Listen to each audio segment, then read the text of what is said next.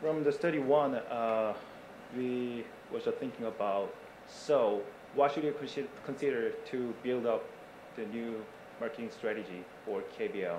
So first, uh, we realize that, realize that uh, we have to understand basketball fans' specific uh, characters first. So, uh, so we just focus on, uh, especially focus on team identification here.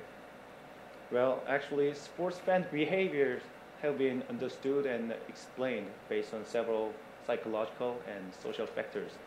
Among various factors, uh, sport, uh, sports team identification, especially fan identification, uh, has been extensively studied by the research community of sports marketing.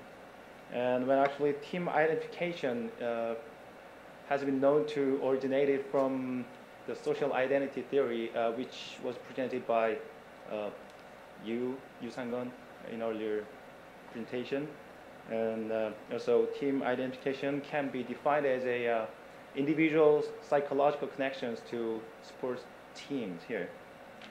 So uh, a line of research uh, regarding team identification have indicated that team identification actually has strong positive influences on a, uh, regarding various aspects, such as attitude toward the team and also a sports fans' conservative behavior here.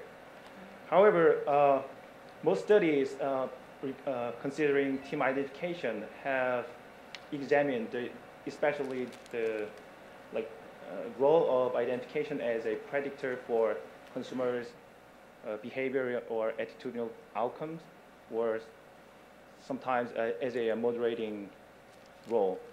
So uh, here uh, we was thinking about so what factors can increase or evoke team identification in sports fans' mind.